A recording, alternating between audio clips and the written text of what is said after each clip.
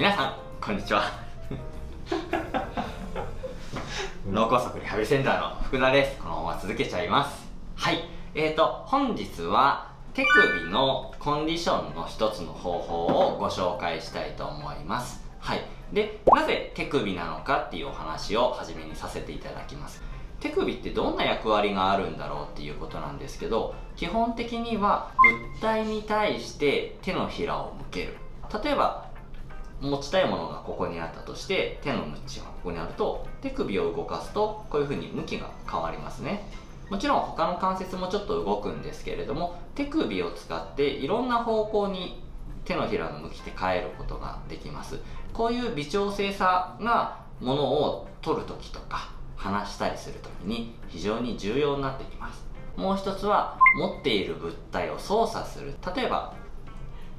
何か字を書くときとかもそうですね。字を書くときもよく使いますと。で挟めるときはちょっと固定の方が多いかもしれないですけれども、まあ、串を解くとかね。書いた時とかこういう動かし方もできますけど細かい操作するときってちょっと手首も使ったりします。はい。このように手首というのは何か物を操作する物を持ったり離したりするときにとても重要な役割を持っていますので今日はこの手首のコンディションについて紹介していきたいと思います。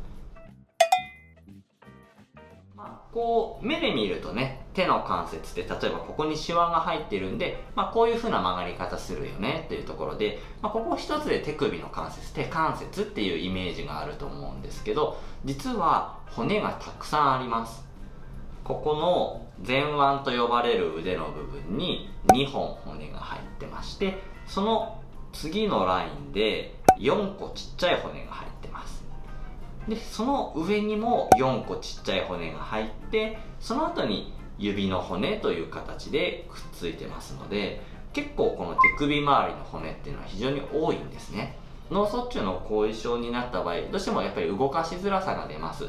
動かしづらさが出ると動かしやすい方向とかもしくは勝手に力が入ってしまう方向の影響でどんどん形が変形してしまう可能性があります。2つの骨だったら変形の度合いってたかが知れてるんですけれどもここの細かいとこには8個ありますと考えた時に1個1個がねずれちゃったりとか歪んだりをします。実際は人体とかで強固にくっついているのでそんなにぐちゃぐちゃにずれることではないんですけれどもやっぱりその8個のバランスとかその下の2個のバランスによって動かしやすさとか向きとか決まってきますのでこの辺のバランスを整えておくことが非常に重要です。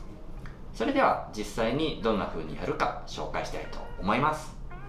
えー、テーブルの上に何かこのぐらいのフェイスタオルなど用意していただきます。でタオルの上に手を乗せておきます。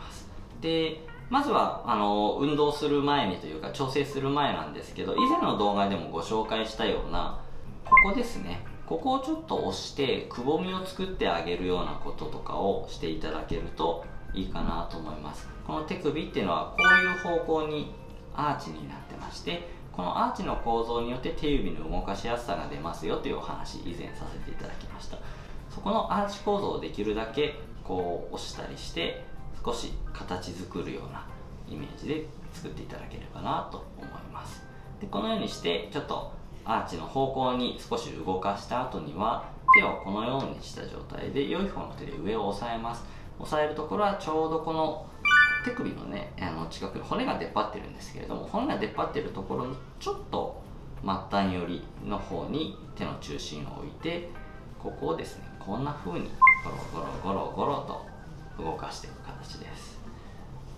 でイメージとしてはこう動かしていく中でですねこの手の下にある物体まあ要は自分の手首ですけど自分の手首の中がぐにゅぐにゅと柔らかくバラバラにほぐれるイメージでゴロゴロゴロっとしてください。で力強く押さえつける必要はありませんのでこの良い方の手で転がしてる感覚が感じれるぐらいであれば十分です。ゴロゴロゴロゴロとします。